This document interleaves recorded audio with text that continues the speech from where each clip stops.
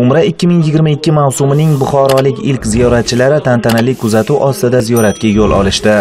Pandemiya tufayli minglab odamlar kutib qoldi. Behad shukur qilamizki yurtboshimiz tufayli bizani rahbarlarimiz tufayli shunday yaxshi tashkil etilgan juda ham chiroyli darslar o'tdik majlislar bo'ldi hammamiz xursandmiz. Shu xursandchiligimiz bardavom bo'lsin. Alloh taologa shukronalar bo'lsin. Qolaversa prezidentimizga rahmat. Umra safarlarini amalga oshiryapmiz ketyapmiz. Vatanim obod bo'lsin. Mening istaklarim tilaklarim shu birodarlarim. Qisqa fursatlarda umra safarlari boshlangani barcha yurtdoshlarimizga o'zgacha mamnunlik baxsh etmoqda. Navbatlar asosida belgilangan to'lovlarni amalga oshirgan vaksina olgan saudiya arabistonining karantin qoidalarini amalga oshirgan fuqarolar tartib bilan muborak safarga jo'natilmoqda.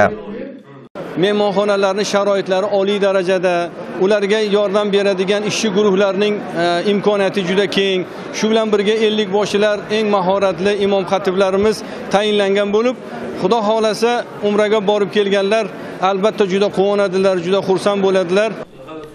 Barcha shart sharoitlarning risoladagidek yo'lga qo'yilishi asnosida keksalarga izzat ikrom ko'rsatildi. Ezgu niyatlarga qo'l ochgan ziyoratchilar buxoroi sharifdan u yerdan esa ziyoratga yo'l olishadi. Manrahim turdiyev abdulla rajabov buxoro.